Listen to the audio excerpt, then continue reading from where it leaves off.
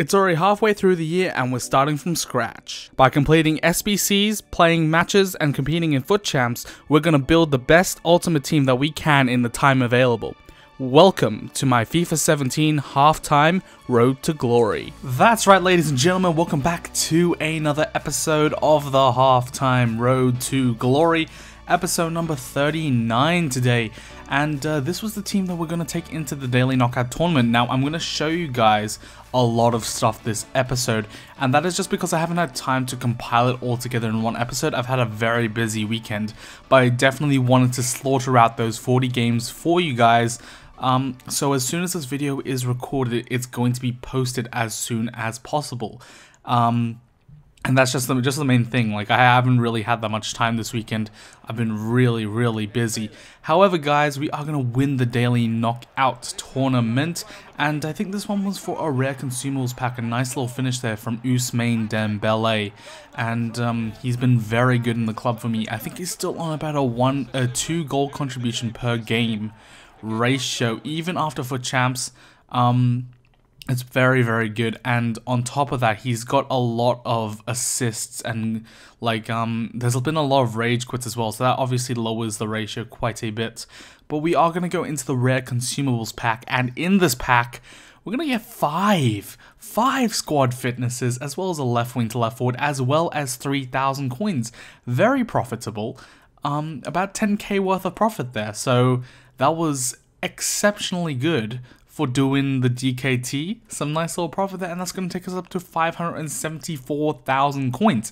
Now, on top of that, the Year of the Rooster SBC came out, and um, that actually has a Team of the Season reward.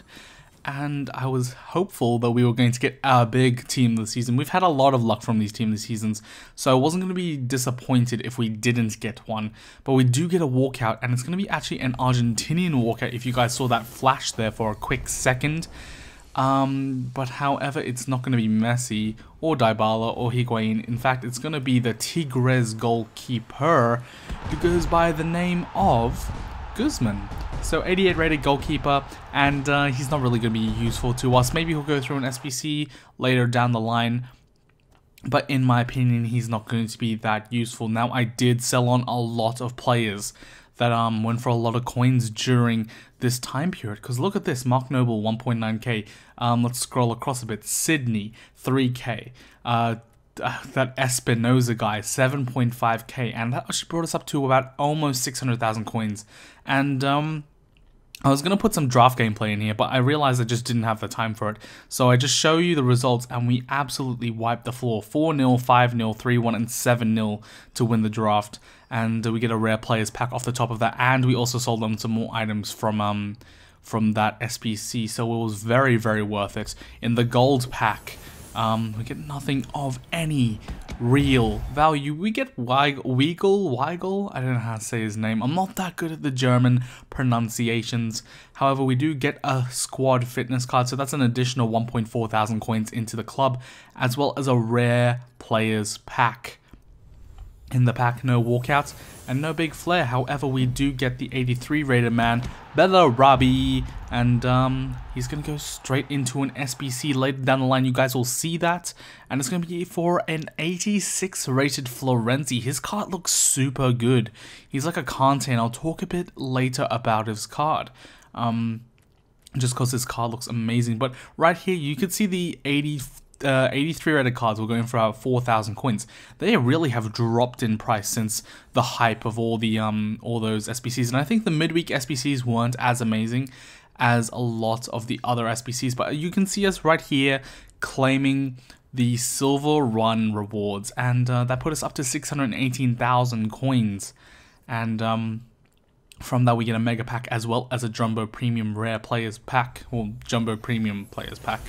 But in this one, we get an 84 rated player in the name of Subasic, Daniel Subasic, I think.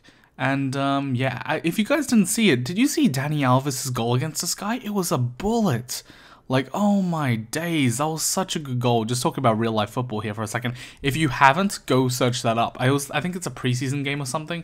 But for PSG, Dani Alves is already banging in amazing goals. And um, that was an amazing goal. I was just in shock when I saw that. I was like, oh my god.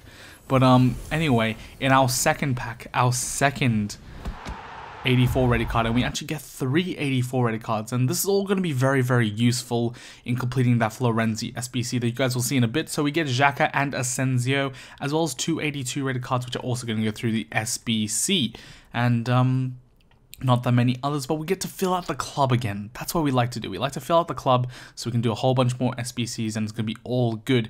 Now, this Florenzi card, as I was saying, he is 5 foot 8, but he looks like a Kante, man. He is so good. 89 pace, 85 shooting, 86 passing, 80 um, ace dribbling, I think, 83 defense, and 84 physical. And um, at that mid position, he's going to be a menace. I'm going to try him instead of Khedira potentially and uh, see how how they both uh, compare. Khedira's got the height, but um, Florenzi's got the pace and all that sort of stuff. So it's going to be interesting to see how they compare. And you can see me putting through here a lot of red cards. Now, guys, guys, I know what you're saying. Why are you wasting the red cards? But we're getting we're getting some more red cards. Not that many. I think we're going to get one or two gold red cards coming up this month. And on top of that, I don't really need to use like any other players because I have so many more red cards. I have like 20 or 30 left in the club. So I'm happy to put through those Team of the Season red cards as well as a Lucas to get an 86 rated centre mid Florenzi with high medium work rates and just a sensational card. You put a shadow on him, he is looking deadly. You put an anchor on him, actually, he is looking very deadly. And um, I was kind of disappointed he didn't get a right back card because that would have been very, very nice. But we are going to go into some FUT Champs games right now. And um, yeah, it's going to be a bit of an interesting start. Lukaku with a little outside of the boot curler into that top net. And we'll take a different look at that angle because whew, that is a nice shot. That 99 shooting on that, on that left foot of dreams. He is just so good. And um, it takes a while to get used to Lukaku and how he feels and all that sort of stuff, but once you get it, and once you know how to use him, he is so good. You can shield off your opponent, and um, you'll see here from the result, and you guys know from the title where I, where I finished, but um, I was really enjoying FIFA this weekend. I played 26 games on the Sunday, and I won 23 of them. So, um, yeah, that gives a bit of an indication. And we actually started off going really badly. This right here was a rage quit, and it's going to make it 1-0 on the record. But um, we actually started going 3-3. And at that point, I was like, okay, let me reevaluate. Let me see what I'm doing wrong. This dude, Fresh Prince, with his team, my days, Hazard, like Lukaku, Son. That is the dream. That is the dream three up front. And I might try and look and get the team this season. Hazard, maybe not actually. I don't know. I don't know if it's going to be a worthwhile upgrade um, from Heung-min Son. Heung-min Son's been doing amazing work for us, and that is a very, very unlucky goal from my opponent to concede are just bumbling all over the place and somehow Hamsik's able to tap that one here. Same with this one. Look at this. Ronaldo hits at the keeper. It goes straight back to Ronaldo, straight off the keeper and into the back of the net. But as I was saying, at, at three, three wins and three losses, I really had to reevaluate what I was doing. Because um, I felt to myself that I was rushing it and I didn't have the confidence anymore. And I think that's a lot of it. I think just being confident in your play and um, and how you're playing and the style you're playing really does impact your game performance. I think when I was going on that win streak and um because after that I think I finished 15 or 13 and 3 so I went from I went on a 10 game win streak and then I went on something like a 15 game win streak as well and during those win streaks, I was very confident in how I was playing. Like I was trying to I, I wasn't even trying really. I was I knew what to do. I knew how both of my teams worked and it's it's really odd. Normally I'm favoring one team over the other. Normally I'm favoring this team with Ronaldo, Messi and Suarez, but um my second team with Dembele, um, Lukaku and Son and the midfield, they were all just working together this week. And I don't know what it was. I don't know how I was playing or what I was doing different. But um, it really, really was working. As you can see, 6-1 there in the second game. And this third game is going to be one of the losses we did take in our streak. And um, it's going to be against a guy where I actually played later and I managed to beat 5 0. So it really, really does depend on your mood and um, how you're feeling. Now, this goal, look at this goal, guys. My opponent's moving his wall and I just smash it through the wall and it comes off his defender on the line and goes in. Ousmane Dembele there getting a very lucky goal. But it was like one of that, that it reminded me of that goal from the World Cup where Messi tried to, um, I think it was the 2014 World Cup where Argentina had two men in the wall, they both split, and Messi just kicked it straight through them. Now, obviously, they didn't score off that, but um, it was very, very similar. I've never scored a goal like that. And um, right there, Lukaku, I don't know how he gets a goal, but he does, and he makes it 2-1. But that is all we're going to score in this episode, in this match.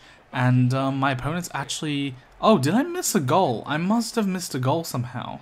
But anyway, um, his second goal was very, very, like, generic double tap across the keeper. But this goal right here, look at what um, I think it's Chris Smalling. Chris Smalling there, I'm trying to pass it out to Marcos Alonso because I never pass in the middle, especially like that. And um, his Eriksen comes across and um, smashes that one into the back of the net. And unfortunately, we're going to take a loss. However, guys, you're looking at some end game footage from my final match. Ousmane Dembele scoring the only goal of the match against Demagma Carter. And uh, he was actually a very tough opponent. I've played him. I played him twice this weekend, and um, as you can see, very very even stats. Kudos to you, man. But Ousmane Dembele with a nice little Berba spin and um, a double tap finesse across the keeper. And this is what Ousmane Dembele can do because he has five star weak foot. He can just shoot from anywhere and it's going to be a threat. But off that game, off that one, well, off this, the end of this game, we actually finished 36th in the world and we finished 34 wins. Now, obviously, this was before the weekend league had finished, and obviously, I have dropped out of the top 100 from then. So, um, unfortunately for us, we are not going to be getting 11 informs from January, but that's all right. I'm I'm happy. I'm happy with the six, you know, because if we look at the rewards for January, it's gonna be pretty pretty nice. We're gonna get 125,000 coins, which is gonna be a massive increase to our club. Six informs slash team of the year cards if we're lucky, and two 100 K packs. Guys, I have I'm so happy. I'm so happy at where we finished. Honestly, I'm just glad I put in the effort on the final day and just slogged out those 26 games because we were able to finally get Elite 1 in the club. And um, yeah, that's very, very nice. As you can see, we, there was 36 wins for this weekend, so it's not like we were going to get top 100 at all. But I don't know about you, but can we smash a thumbs up for Elite 1? Because that's pretty, that's pretty good considering the type of player I am. So um, I was pretty, pretty happy with that. I'm not obviously a pro or I don't really consider myself to be amazingly good. But um, Elite 1, in my opinion, is amazingly good. I've only got it two times before and they were both on my PlayStation Stacked Club. So um, together with the Road to Glory. That is absolutely amazing. But that's going to be it for this episode, guys. Next episode, we are going to go into Daily Knockout Tournament and um, I'll hopefully try and get that up to you as soon as possible. So um, hopefully that'll be coming out on the Thursday. And uh, yeah, so if you enjoyed this episode, don't forget to like, subscribe, and uh, leave a comment down below telling me what your highest finish was. And uh, yeah, Elite 1 rewards incoming, guys. I will see you in the next episode.